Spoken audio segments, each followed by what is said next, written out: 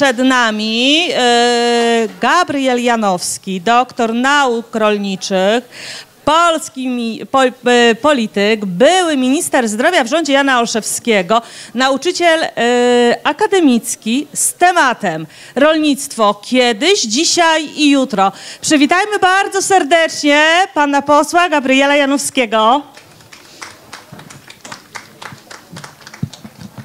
Oddaję mikrofon w ręce. Dziękuję. Bardzo serdecznie witam Państwa. No, Pani uczyniła mnie w mojej karierze, nazwijmy to politycznym, politycznej, również ministrem zdrowia. Dziękuję. O zdrowie walczę jako minister rolnictwa. I to można tak y, rozszerzając powiedzieć, że byłem też ministrem zdrowia.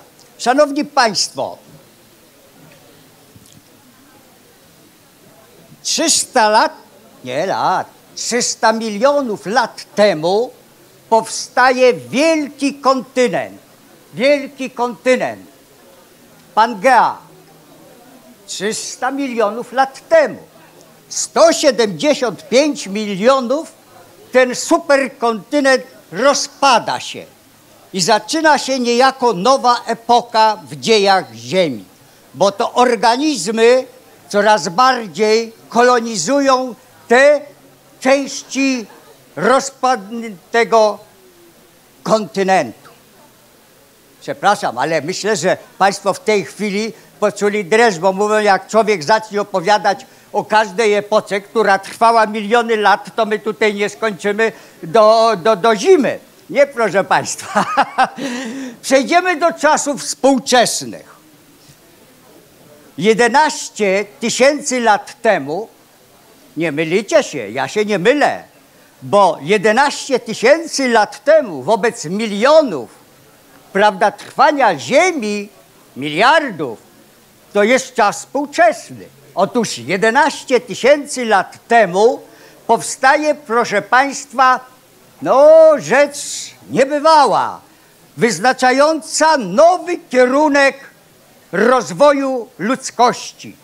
Otóż w pasie takim półksiężyca, poczynając od y, Izraela, Jordanii, poprzez Syrię, Turcję i Irak, powstaje ten pas bardzo żyznej gleby. I to powoduje, że ludzie odchodzą od tych dawnych, prawda, metod przeżywania, a więc od zbieractwa poprzez łowiectwo do kultury. Kultury, bo tak nazywano uprawę gleby. Czyli rolnictwo jest kulturą. Później to pojęcie zostało niejako zastosowane czy używane do w dzisiejszym rozumieniu prawda, kultury, a więc nowej niejako aktywności człowieka. Ale co ciekawe, właśnie rolnictwo to kultura. Tak. I proszę Państwa, wtedy nasi przodkowie właśnie zaczęli uprawiać glebę yy, i co robić? No, wykorzystywać jej zasoby, bo trzeba powiedzieć, że gleba jest najwspanialszym zasobem, jaki został człowiekowi ofiarowany przez ziemię. Będę mówił później o glebie, też jeszcze. I otóż, proszę Państwa, co robią ci nasi przodkowie? No, a uprawiają jęczmień, ciecierzycę, yy, figi, no i wiele innych roślin. E, soczewicę, znaną z przysłowia, prawda, za miskę soczewicy. 11 tysięcy lat temu. 9 tysięcy lat temu następuje rozwój rolnictwa w najstarszej w zasadzie cywilizacji, jaką jest chińska, w Chinach. 6,5 tysiąca lat temu z kolei w subsaharyjskiej, prawda, też części Afryki rozwija się rolnictwo. A co to oznaczało? No, że część ludzi już nie musiała biegać za przysłowiowym mamutem, tylko wygodnie siedziała i myślała. No i wymyślili różne rzeczy, prawda? Handel się rozwija, rzemiosło powstaje. No bo z osad powstają coraz większe miasta, osiedla. I to jest początek, proszę Państwa. I tu powinniśmy się głęboko pokłonić rolnikom i tym wszystkim, którzy właśnie działają na rzecz tego, by inni mogli żyć nie tylko biegając za tym przysłowiowym mamutem. Proszę Państwa, i można tak rzec, że przez kolejne tysiąc lat y, człowiek uda, yy, no, panowuje, prawda, udomawia yy, kozę, owce, świnie, bydło, no i praktycznie rozszerza również ten asortyment rozmaitych, prawda, roślin uprawnych. No bo dzisiaj, gdybym Państwa zapytał, yy, jakie znacie zboża, no to pewnie kilka byście wymienili przynajmniej, prawda? A od jęczmienia czy y, się rozpoczęło. I to trwało, proszę Państwa, no można powiedzieć tysiące lat. Coraz bardziej było wydajne, ale było, i to podkreślam z wielką stanowczością, naturalne. Rolnictwo było częścią natury. Ono się nie wyobcowało. I człowiek, rolnik, był prawdziki, prawdziwym strażnikiem właśnie, proszę Państwa, tej natury. No i przychodzą czasy, żeby skrócić troszkę historyczny wątek, kiedy to człowiek w pogoni za zyskiem, innymi profitami odstępuje od naturalnej uprawy na rzecz przemysłowej rolnictwo staje się nie dziedziną wytwórczości żywności naturalnej, ale przemysłowej. I to jest, powiedziałbym, największa wpadka, jeśli tak można użyć, by nie powiedzieć mocniej, właśnie współczesnego rolnictwa.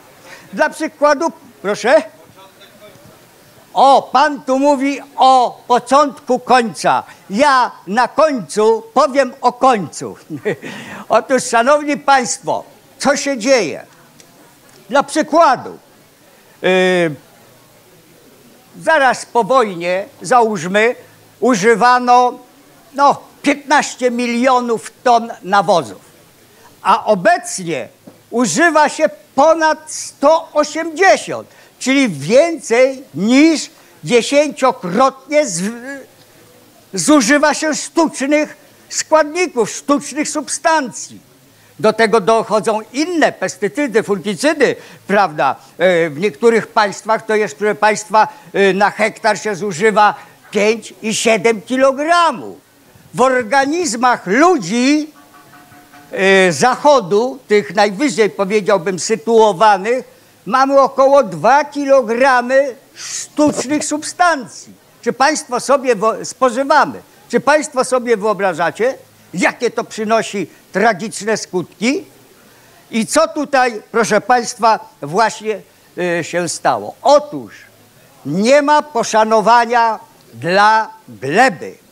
Otóż gleba, jak mówię, to wielkie dobrodziejstwo ofiarowane człowiekowi zaczęła być gnębiona niszczona, bo podstawą dobrej gleby jest zawartość próchnicy, prawda? Czyli tych substancji organicznych, które gromadzą wodę, e, powoli się uwalniają i roślinki mogą sobie e, pobierać, prawda, e, bez szkody dla ich rozwoju. Tak jest. Od tego się rozpoczęło. A co za tym idzie? No przede, co się na to złożyło? Choćby monokultury czyli uprawy roślin, kukurydzy, soi, innych, przez wiele lat na tym samym miejscu. Sobie Państwo wyobrażacie, jakie następuje wy, wyjałowienie, a dawniej były tak zwane płodozmiany, prawda? Więcej, proszę Państwa, co robiono? Nawożono obornikiem. To jest najlepszy nawóz.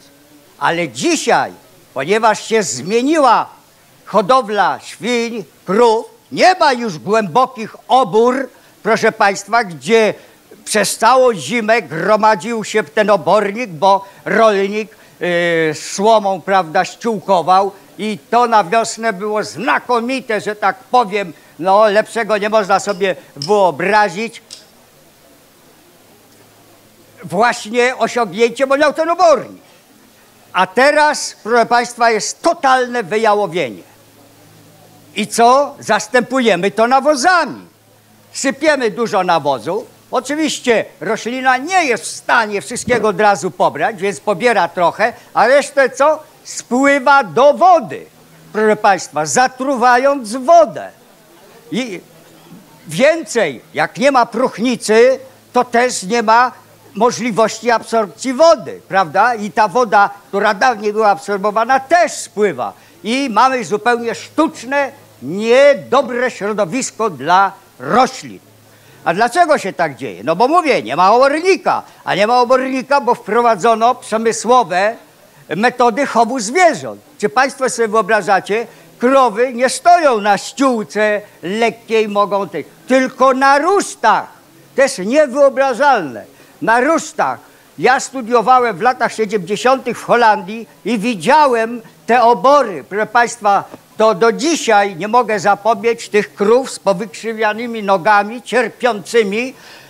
Więcej, świnie były tak zagęszczone, że jak były młode, no to stały, ale jak już dorosły, to proszę Państwa się nie mogły nawet położyć. Nie mówię już o kurach, y, o kurczakach, drobiu, który jest zagęszczony do granic możliwości. Proszę Państwa, mówię o tym, bo to jest coś niesamowitego. Bo dzisiaj już nie ma rolnictwa, tylko jest agrobiznes, agrokorporacje, agrokoncerny i tak dalej, i tak dalej. I takim przykładem arcykoncernu to jest choćby Monsanto i Bayer.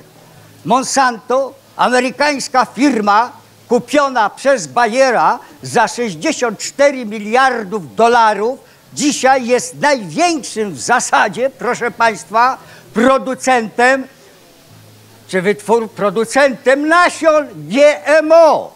Proszę Państwa, no tu Pan powiada truciciele. Wracam właśnie do, w takim razie do GMO, proszę Państwa. Co to jest GMO? Jest to wymiana czy yy, genów pomiędzy nie tylko gatunkami, ale pomiędzy królestwami, bo mamy królestwo roślin i królestwo zwierząt. To jest rzecz niesamowita, proszę Państwa. Właśnie to, co się dzieje, rzecz niewiarygodna. I żeby być ścisłym, żebyście Państwo nie poczytali tego za e, tanią propagandę, to przywołam tutaj właśnie te kombinacje, które są właśnie w ramach GMO prowadzone. Tak było, że mi nieraz mikrofon wyłączano i teraz pewnie też odruchowo. Otóż, Szanowni Państwo, w 1973 roku mamy niejako otwarcie nowej epoki. To jest epoka właśnie GMO. I to wtedy po raz pierwszy gen żaby co zrobiono? No, gen żaby do, proszę Państwa, do bakterii. Żaba i bakteria. No ale żeby było ciekawiej, to zaczęto, proszę Państwa, yy, tutaj już przywołam, yy, jak mówię, gen żaby do bakterii. Dzisiaj mamy sezon truskawkowy, więc przywołam, gen truskawki z genem pstrąga połączono gen ryby do pomidora, gen meduzy do ziemniaka, gen skorpiona mamy w kapuście. Państwo sobie wyobrażacie? I gen szczura, pozwolicie, że nie powiem, do jakiej rośliny został wprowadzony. Noż to jest po prostu rzecz absolutnie, prawda, no nie, nie, nie, nie do zaakceptowania. Kinoblista Y, profesor George Wald y, zresztą z, y, od medycyny, powiedział, że GMO jest największym szkodnictwem od czasu powstania życia na Ziemi. I my to tolerujemy i zachwycamy się. No, na szeroką skalę wprowadzono e, gen, proszę Państwa, bakterii BT, czyli, czyli proszę Państwa, ten gen do kukurydzy, a on wykształca białka, które są zabójcze dla owadów. Czyli te owady, które sobie e, nad kukurydzą biegają i osiądą, są zabijane. Ale przecież do owadów należy też pszczoła. Proszę Państwa, zresztą to jest ciekawy przypadek, bo pszczoła, proszę Państwa, to jest jeden z, tak jak się oblicza, z miliona czy ponad miliona gatunków owadów, który został udomowiony przez człowieka. I teraz ten sam człowiek funduje jej te, powiedziałbym, szkodliwe, e, prawda, kwiaty. E, jest to w ogóle rzecz nie, nie, niebywała. W jakim kierunku my idziemy? Proszę Państwa, tu wspomniana ta produkcja przemysłowa, no opiera się na, na czym? Nie tylko na tych formach chowu, o którym mówiłem, prawda, ale na tym, że dawkujemy raz w uprawie, a przede wszystkim w przetwórstwie żywności dziesiątki sztucznych substancji, poczynając od sztucznych konserwantów, poprzez sztuczne smaki, zapachy, i tu można wymieniać jeszcze dziesiątki tych substancji. I oczywiście to nie zostaje bez wpływu na zdrowie człowieka. Dzisiaj mamy coraz więcej alergii, proszę Państwa, rozmaite e, teratogenność, a więc e, rozwój płodów, ale zniekształconych płodów, no rak, kancerogenność i wiele jeszcze innych chorób. Nie chcę tutaj, że tak powiem, e, e, państwa, że tak powiem, w nastrój nie bardzo optymistyczny wprowadzać. Ale co się dzieje na naszych oczach, czego nie było jeszcze 25 lat temu? Otóż, proszę Państwa, oblicza się, że miliard 900 tysięcy ludzi, miliard 900 tysięcy ludzi cierpi na nadwagę. W tym 650 milionów ma tendencję czy otyłość. Proszę Państwa, no rzecz niesamowita. Przykro mi powiedzieć, ale Polska dzisiaj jest w czołówce tych krajów. Tych krajów. Popatrzcie, dzieci już w w, w, po skończeniu szkoły podstawowej zwielokrotniają, że tak powiem, tę tendencję żadna służba zdrowia, proszę Państwa, nie sprosta temu wielkiemu wyzwaniu, jakim jest właśnie, są te choroby. A skąd to się bierze? No bo mamy dzisiaj fast foody, prawda? M mamy inne śmieciowe, tak trzeba powiedzieć, dania i to jeszcze, prawda, przesycone tą chemią. I tu trzeba bić na alarm. Proszę mi wskazać jednego, dwóch, trzech polityków, którzy widzą to wielkie zagrożenie i w debatach publicznych podejmują, jak temu przeciwdziałać. Widzicie Państwo takich? Nie. Tak. A dlaczego? No bo to jest, proszę Państwa, krótko mówiąc, interes wielkich korporacji. I te korporacje dyktują dzisiaj kierunki rozwoju ludziom, a w Polsce w szczególności. Tam jeszcze będę mówił troszkę później o tych sprawach. Więc proszę Państwa, jesteśmy w przełomowym momencie. W przełomowym momencie. I uprawia się propagandę, że im większe gospodarstwa, tym wydajniejsze i w ogóle. Nie, im większe, tym bardzo często więcej środków stosują.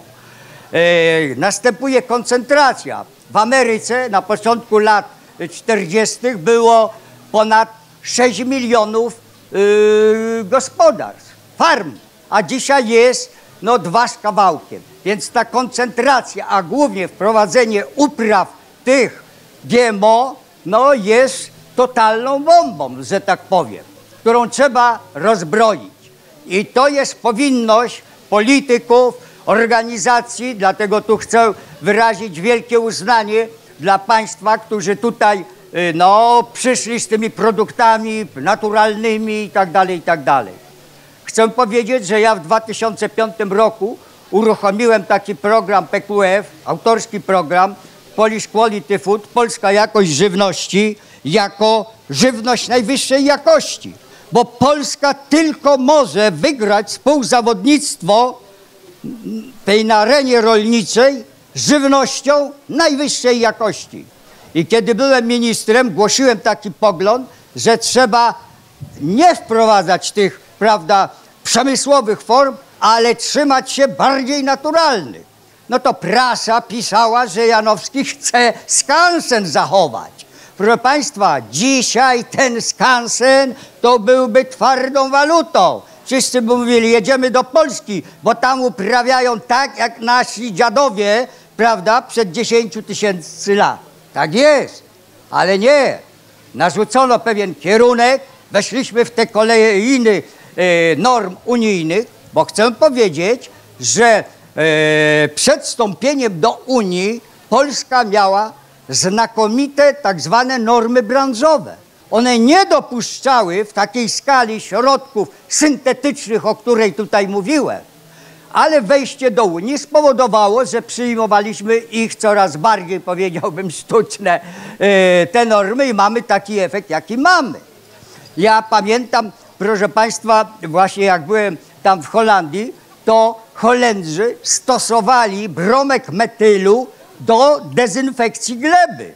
Bromek metylu. W Polsce był oczywiście zakazany. A tam oni stosowali, no, żeby pozbyć się patogenów i tak dalej. Ale to wszystko odbija się na zdrowiu człowieka.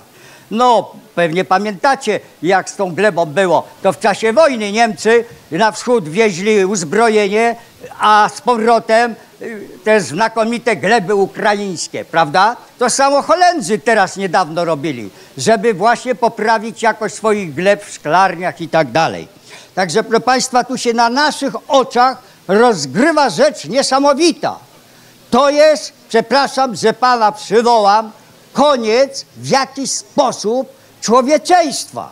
Jeżeli do tego dojdzie jeszcze IT, a więc sztuczna inteligencja, która jest coraz bardziej wyrafinowana, to człowiek stanie się, przepraszam za to słowo, prymitywnym konsumentem, który będzie poddany rozmaitym naciskom z lewa, z prawa, z góry i tak dalej.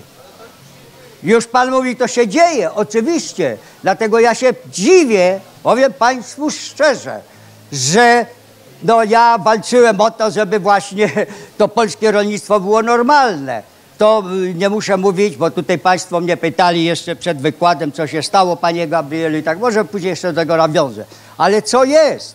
Proszę Państwa, musimy koniecznie odejść od tej ślepej uliczki, w, której, w którą coraz głębiej wchodzimy. I to powinien być naczelny apel rozmaitych środowisk. Opanujcie się, dajcie nam normalnie żyć. A co się dzieje? No, nie muszę Państwu mówić. Dlatego powiem tak, no są różne programy. Yy, różne programy na rzecz, proszę Państwa, rozwoju rolnictwa. I Państwo pozwolą, że się posłużę takim przykładem.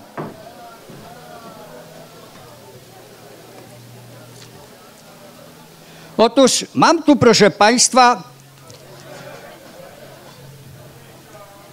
takie opracowanie Strategia zrównoważonego rozwoju wsi, rolnictwa i rybactwa do 2030 roku. Chcę powiedzieć, że cztery kolejne tomy, bardziej opasłe niż te, regulują politykę rolną w Polsce. Czy Państwo sobie wyobrażacie, jak to można przetrawić, stosować? Rolnictwo nie jest dla rolników, tylko, przepraszam, zresztą też poważny zawód, ale dla urzędników. Nie, ch- nie chcę tu Państwa zanurzać, ale bym tutaj mógł przywołać parę takich zdań kompletnie, jak to się mówi, niezrozumiałych, no bełkot. Więcej, kilka tygodni temu do Sejmu wpłynęła ustawa regulująca politykę rolną. Liczy sobie ona, no kto zgadnie, ile stron? Pan powiada 5 tysięcy. No, pan jest, że tak powiem, hojny. No, ale żeby nie dwa tysiące stron ponad. Czy państwo sobie wyobrażacie, kto przez to przebrnie? Ale chcę powiedzieć, że był taki minister, proszę państwa, który w 2000, w 1900, e, proszę Państwa, 92 roku opracował program dla rolnictwa pod tytułem Szanse dla wsi i rolnictwa. I ten program zawiera program rolnictwa na 10 stronach. Proszę Państwa, na 10 stronach. Więcej, w tej programie jest zapis, że podstawą gospodarstwa e, rolnego jest gospodarstwo rodzinne. To ten zapis praktycznie in extenso został wpisany do konstytucji na 10 stronach. Nie będę Państwu tutaj cytował, ale chcę powiedzieć, że ten minister, korzystając z tego programu, wprowadził, zresztą wtedy rząd przyjął cztery jeszcze inne programy rządowe, wprowadził między innymi ceny minimalne dla rolników, dopłaty do paliwa, ograniczenie importu yy, i wiele, yy, oddłużenie rolników. Ponad 30 tysięcy oddłużyliśmy wtedy, proszę Państwa, i tak dalej. Więcej, to co się stało po 89 roku w zakresie polityki gospodarczej, a rolnictwa w szczególności, trzeba nazwać, proszę Państwa, i tu można użyć naprawdę bez żadnych, powiedziałbym, skrupułów, mocnych słów. Jak można bez przemocy militarnej oddać, bo tak to trzeba nazwać, majątek firmom zagranicznym? To tak zwany konsensus amerykański, waszyngtoński i tak zwani, prawda, Chicago Boys, a więc ci ekonomiści skupieni wobec Friedmana, z Zaksem na czele, który był doradcą pana e, Balcerowicza, doprowadzili, powiedziałbym, do bezprzykładnej wyprzedaży majątku. Proszę Państwa, no coś niesamowitego. Przywołam przykład. Proszę Państwa, sprzedano 16 cukrowni Śląskiej Spółki Cukrowej. Plac, ziemia pod tej cukrowni wrocławskiej jest więcej warta niż otrzymano za 16 cukrowni śląskich. Czy Państwo sobie wyobrażacie? A małego Fiata oddaliśmy, bo nie sprzedaliśmy, yy, Włochom z dopłatą dzisiejszych 20 milionów. Kto o tym wie? To była zbrodnia, tak to trzeba nazwać, dokonana na Polakach, na organizmie gospodarczym. Ale wracam szczególnie do rolnictwa.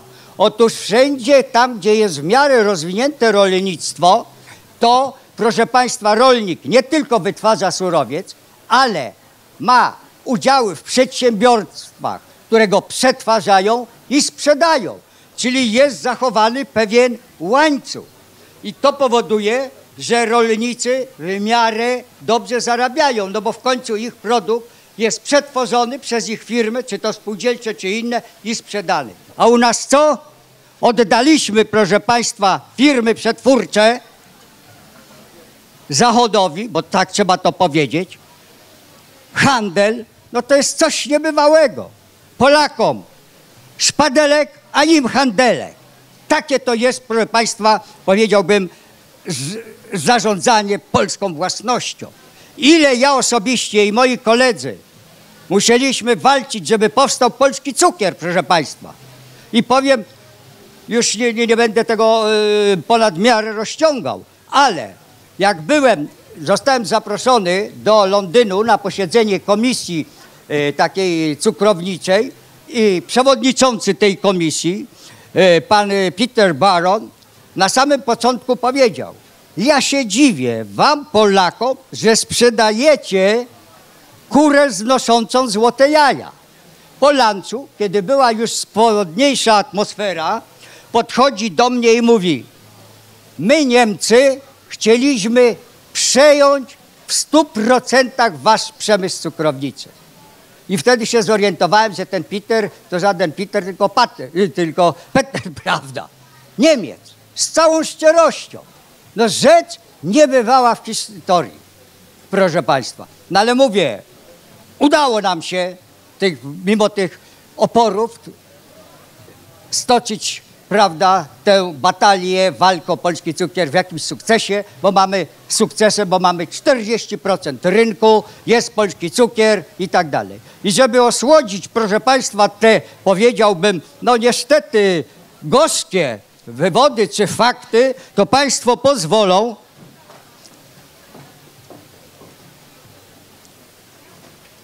że puszczę teraz w obieg wyroby Krajowej Spółki Cukrowej, a ściślej mówiąc pszczółki, która przynależy do właśnie tego yy, koncernu, można nazwać, czy do tej krajowej spółki. Proszę tutaj kogoś, co by chwycił, prawda, te torebki i jedną w lewą stronę, drugi w prawą puścił w obieg.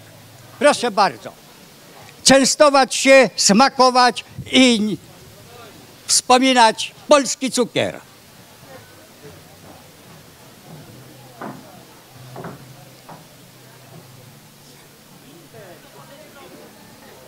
Proszę Państwa, o Pani tutaj natrafiła na ten. Dobrze. Szanowni Państwo, tutaj organizatorzy przewidzieli dłuższy mój wywad, wywia, wywód. Nie chciałbym Państwu, że tak powiem, ponad miarę tutaj yy, czasu zajmować, ale jeżeli Państwo pozwolą, to możemy sobie podyskutować teraz o tych jakże ważnych e, polskich, polskich sprawach. Bo tak jak powiedział święty Jan Paweł II, rolnictwo jest podstawą zdrowej ekonomii. Jeżeli nie będziemy mieli, prawda, dobrego rolnictwa, nie będzie też i ekonomii. I tu zdrowej.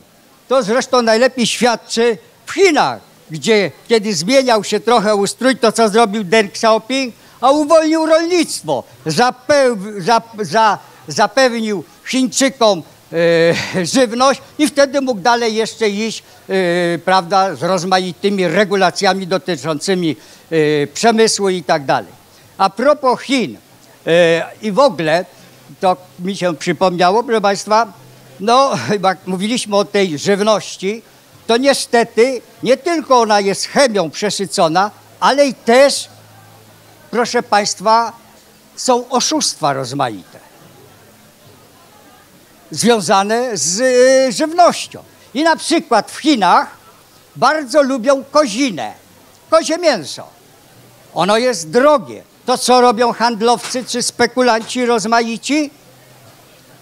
Proszę Państwa, wrzucają kupione za psi pieniądz mięso, nie kozie, tylko jakieś inne, zanurzają je w urynie koziej i kiedy to mięso przesiąknie tym zapachem, płuczą i sprzedają jako kozinę. A?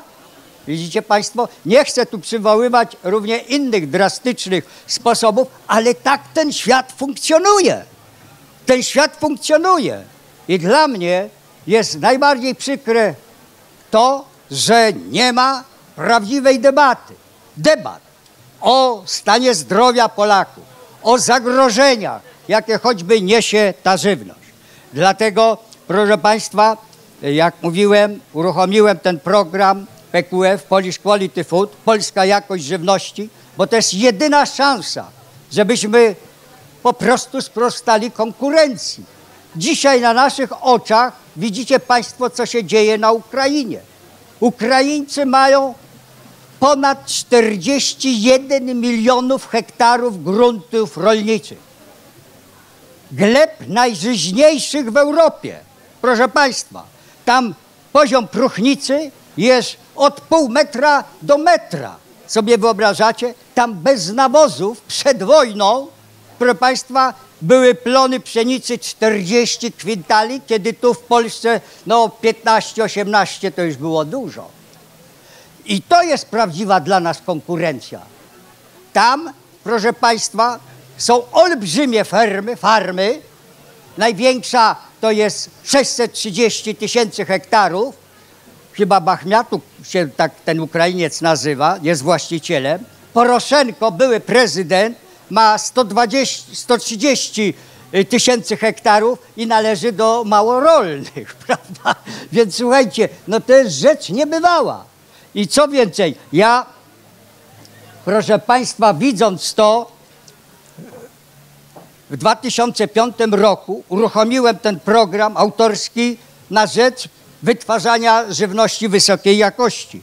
I tam już napisałem wtedy, postępujący na Ukrainie rozwój rolnictwa uprzemysłowionego przy wykorzystaniu zachodnich technologii, wielkoobszarowe farmy, wysokiej jakości gleba i tania siła robocza będą dla polskiego rolnictwa olbrzymią konkurencją. I co nam tylko pozostaje? Produkcja najwyższej jakości. Czy myślicie, że ktoś z władz Ministerstwa Rolnictwa zainteresował się tym? To ja z własnych oszczędności prowadziłem ten program. Pandemia nam troszkę za, e, utrudniła, ale już opracowaliśmy kryteria dla wielu produktów, e, właśnie dla miodu, dla mięsa, dla, e, proszę Państwa, mleka. O dla przykładu, jeżeli chodzi o miód, to nie dopuszczamy uli z plastiku. Muszą być z drewna, bo plastik po prostu przenika, prawda, do miodu i my, on się nam odkłada, e, prawda, e, w, e, w naszym organizmie. Czyli dzisiaj musimy sformułować zasady polityki gospodarczej, a rolnej w szczególności, choćby wobec Ukraińców. Ale co my widzimy? Poklepywanie się jednych, drugich, prawda? I, i, i, i przepraszam, ale nie będę rozwijał tego wątku. Także na naszych oczach, jak powiadam, dzieje się wiele bardzo ważnych spraw, które niestety nie są podjęte przez osoby, które tym powinny się na serio zająć. A może jeszcze ten wątek gleby, bo to jest to dobrodziejstwo, które nam, prawda, te tysiąc, miliony lat temu Ziemia oddała. Otóż Polska, o czym się znowu nie mówi i nie wie, ma najsłabsze gleby w Europie. Czy Państwo sobie wyobrażacie? Mamy tylko 0,4 gruntów pierwszej klasy, 2,6 gruntów drugiej klasy, no najwięcej mamy gruntów e, czwartej klasy, o tam 39 chyba z kawałkiem. Ale co się jeszcze dzieje? I to chcę bardzo mocno tutaj, nawet podnosząc głos, powiedzieć. Te grunty najlepszej jakości są zabudowywane. Popatrzcie, co się dzieje w oku Wrocławia. Gleby pierwszej, drugiej i trzeciej klasy są betonowane przez wielkie te, jak ja mówię, stodoły, czyli centra logistyczne i magazyny. To jest rzecz niedopuszczalna. To jest nasze dobro. Jego się nie odtworzy, bo raz ta gleba zabetonowana, proszę Państwa, już do rolnictwa nie wróci. I dzisiaj się mówi o tym, że będziemy y, mieli programy, y, taki krótki łańcuch od pola do stołu. Tak, proszę Państwa, dawniej rolnicy przywozili warzywa uprawiane wokół Wrocławia, czyli 20-30 kilometrów. A dzisiaj, czy Państwo wiecie, że danie, które ma Amerykanin, prawda, to mniej więcej wymagało 2400 kilometrów tak, tu, w tamtą inną stronę. W sumie, żeby znalazło się na tym. Kefir w Niemczech, kubeczek, zawiera produkty z czterech krajów. Przecież jest to obłęd. Proszę Państwa, dzisiaj dochodzi do bezprzykładnej w dziejach człowieka marnotrawstwa, żywności. Czy Państwo wiecie, ile żywności się marnuje? W procentach ile? Blisko jedna trzecia, proszę Państwa. Miliard trzysta milionów ton żywności jest wywożone, można by powiedzieć, na śmietnik. W Unii Europejskiej to jest około 90 milionów, a, a w Polsce no różnie tam się podaje e, no 6 do 9 i tak dalej. To jest karygodne. Proszę Państwa, i nic o tym się nie mówi, tak jak winno się mówić i alarmować, tylko produkujemy, produkujemy, prawda, i tak dalej. No jest to rzecz nie do zaakceptowania. Dlatego kończąc ten wykład, czekając na Państwa pytania, powiem tak. Święty Jan XXIII w, encyklikę, w encyklice Mater et Magistra przyrównał rolnictwo niejako do wielkiej świątyni, a rolników do jej kapłanów. Czy może być piękniejsze porównanie? Nie. Dlatego, proszę Państwa, życzę, by rolnicy byli kapłanami i awansowali na biskupów, no i jeszcze wyżej, prawda? A my, żebyśmy nie szczędzili pieniędzy na na co? Na tacę? Nie, żebyśmy pieniędzy, proszę Państwa, nie szczędzili na tacę z żywnością najlepszej jakości. Dziękuję.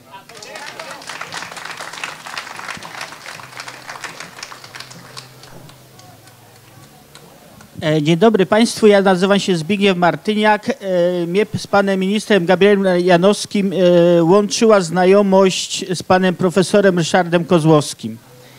I pan Ryszard e, Kozłowski zawsze chodził, e, jeździł po całej Polsce, robił prelekcje na temat kwasów humusowych. Nie wiem, czy pan pamięta. Tak, i proszę sobie e, e, wyobrazić, no niestety zmarł e, pan profesor chyba w październiku zeszłego roku, ale jego spuścizna pozostała. I myśmy właśnie na Śląsku dopracowali jego technologię i to, co pan mówił o tej zatrutej glebie, to, co e, panu e, na tej ulotce pokazywałem, to jest huminpol. To są kwasy humusowo opracowane e, przez pana profesora, które nam przywracają do życia te gleby, które zosta są, zostały zdewastowane. Pan profesor Kozłowski zawsze mówi, że jeden litr kwasów humusowych jest odpowiednikiem 30 ton obornika. I w dalszym ciągu zostało to e, sprowadzone do tego, e, co pan profesor zawsze mówi, że kwasy humusowe e, z kurkumą leczą raka. Dlatego zostały opracowane suplementy diety, które są e, atestowane już można powiedzieć w wielu krajów świata i wykazują bardzo wiele wektorów e, wskazujących na prozdrowotne działanie właśnie kwasów humusowych, bo one mają przede wszystkim zdolność do oczyszczania. Oczyszczenia z, czego? Na przykład glebę z metali ciężkich i tak samo u zwierząt. Są nawet badania e, ujawnione przez polskich naukowców, e, Stowarzyszenie Niezależnych naukowców i lekarzy, nie wiem czy to dobrze powiedziałem, że nawet oczyszczają kwasy humusowe z tego grafenu, które nam w tych e, pseudoszczypawkach podano. E, Wykazano też wektory e, w sektorze odtruwania organizmu. Już, już, już koniec, już kończę. I powstał e, super suplement diety, e, który wprowadza nam do naszego organizmu te kwasy humusowe i w chorobach nowotworowych, w chorobach tarczycy, czy w chorobach jakichś bakteryjnych wykazuje bardzo si- silne pozytywne działania. Nawet zawędrowało to do Afryki, gdzie będzie to e, atestowane w kierunku e, chorób e, tych, które oni tam, te dengi, ebole i inne takie AIDSy. No na przykład się okazało, że przy malarii tydzień czasu nie było malarii. Także są bardzo tutaj e, w Środkowej Afryce zainteresowani. Także jeżeli pan e, nawiąże ze mną kontakt, to te inne rzeczy przekaże, bo też mamy dodatki paszowe dla zwierząt, że e, indyki mają nawet prawie 2 kilo więcej wagi i wyeliminowano przy okazji gronkowca. A jajka są po 101 e, gram nawet. E, Ale kurze, kurze w tym momencie. Także mamy pole do współpracy. Ma pan moje ulotki, możemy potem rozmawiać, współpracować dalej. Dziękuję. E, Bardzo dziękuję. Proszę Państwa, a propos jaj. E, otóż e, wśród produktów, które są no, najbardziej marnowane i tak dalej, na pierwsze miejsce zajmują wędliny. to jest ponad 46% wędlin właśnie marnuje się. 30 parę procent pieczywa, e, troszkę mniej warzyw i inne produkty. A na końcu, jeżeli chodzi o marnowanie, są jajka, tylko 2%.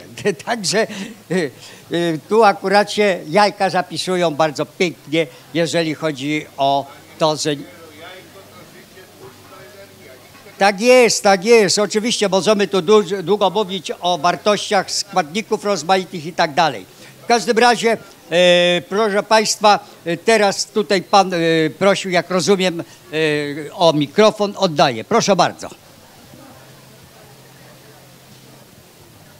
Dzień dobry, Karol Korczak. Ja tutaj tak najpierw e, chciałem wrócić do samego początku Pana wykładu, bo e, te zaprezentowane te początki cywilizacji, no, ma, mam z tym pewien problem, ponieważ e, ja mam wrażenie, że to w ogóle m, ta, m, ten rozwój jakby poszedł trochę w złym kierunku, bo samo rolnictwo oznaczało produkcję, no w tamtych czasach duże ilości zbóż, ludzie przeszli na żywienie się zbożami, w związku z tym powstał innego rodzaju człowiek, bo co innego elity, które tam się dobrze tam żywiły, a co innego ludzie, którzy przestali być myśliwymi, zaczęli być rolnikami, w związku z tym zaczęli się żywić zbożem, uzależnienie od glutenu za tym idzie i tak dalej. No i e, właśnie ta cywilizacja poszła w, złym kierunku i to argumentem za tym może być to, że no jeszcze 700 lat temu przecież ta wspaniała, rozwinięta cywilizacja chińska, która już od tych wielu tysięcy lat, jak pan powiedział, to zboże i, i tę kulturę budowała, tak, i została przez tych prymitywnych Mongołów y, zniszczona, podbita i no i długo, długo tam rządzili nimi ci, ci Mongołowie. No i tutaj też współcześnie ci Mon Mongołowie nadal e, ich kultura co, coś ciekawego wnosi. Na przykład no ja sam byłem leczony akupunkturą przez Mongoła. E, więc pytanie, że ta cywilizacja nie powinna w jakimś takim kierunku iść, e, które odrzuci węglowodany. I to, to mm, z całym szacunkiem dla wegetarian, no bo wiadomo, możemy też e, produkować syntetyczne białka z, z roślin e, i same izolaty. Możemy też sztuczne mięso, ale ja mam wątpliwość, czy, czy ludzkość powinna iść w tą stronę, czy nie jednak w stronę jakościowego mięsa właśnie, więc cieszę się, że tutaj też Pan wspomniał o dobrej jakości mięsa. A jeśli chodzi o mięso, to w ogóle to jest zupełnie y, inna jakość, jakby to, y, czym mięso jest, a czym mogłoby być, podobnie i jajka. Więc tutaj e, jakby w ogóle inna filozofia jest potrzebna chyba i podobnie z tymi mm, no, z, z, z tym, z tym z, z, tym wszechobecnym sanitaryzmem, który no, najpierw był u zwierząt, prawda? I jest, było to coś takiego, co w ogóle było mm, y, mało interesujące tak politycznie i nikt tego raczej, jak żadne tam y, niezależne siły polityczne raczej tego nie eksponowały nawet również, że, że tak się dzieje, że tak bezsensownie te zwierzęta są niszczone. Y, dziękuję panu. Proszę Państwa, tu zresztą mówiono mi, że i wczoraj, a dzisiaj też były debaty na temat no, szerszy niż tylko stricte żywność w tym wydaniu, nazwijmy to e, materialnym. Ale e, wracając do pana uwag tutaj, no jest problem z mięsem. Jeszcze tak dużo mięsa ludzie nie spożywali jak obecnie. Niestety. I to mięso jest coraz gorszej jakości. Nie chcę tu mówić o drobiu, ale proszę Państwa, my yy, zużywamy tam setki, nie powiem ton czy kilogramów antybiotyków. To się odkłada przecież na odporności człowieka. Zużywamy, zużywamy, zużywamy yy, czy używamy substancje wzrostowe. W ogóle jest coś niesamowitego, jak ślepą uliczkę wchodzi człowiek. Nie mówię już o wodzie, o wodzie, jak w wielkiej ilości zużywa się przy właśnie produkcji czy przy chowie bydła. To jest nieporównywalne z innymi, prawda? I należałoby zachować pewien zdrowy rozsądek. Jak rozumiem, że Państwo przechodzicie, Do- co by ogłosić, że tak powiem, koniec świata. Nie, nie, nie. Nie, ko koniec, koniec dzisiejszego wystąpienia, No. za które bardzo, bardzo serdecznie dziękujemy. Nagrodźmy wielkimi brawami. Proszę Państwa, ponieważ mam małą nagrodę, więc chcę ją ufundować osobie, która rozszyfruje. y, Tam na jednej z torebce był taki, proszę Państwa, yy, skrót. No.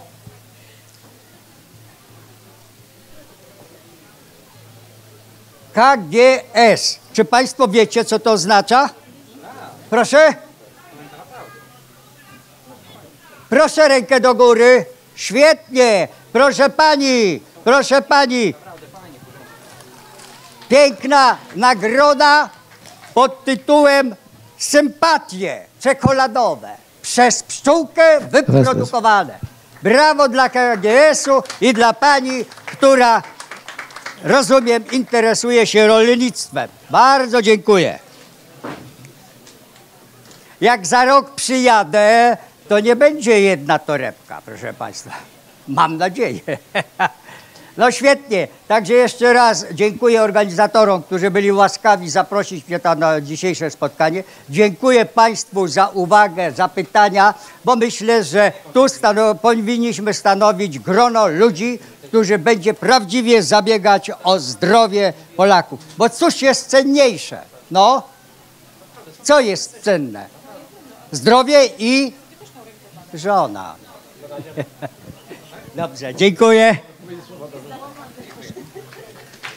Najważniejsze to jest zdrowa i zdrowa żywność. Tak jest.